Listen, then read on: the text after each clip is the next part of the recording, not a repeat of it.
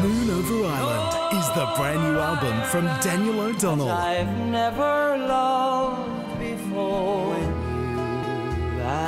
Daniel O'Donnell, Moon Over Ireland, is out now.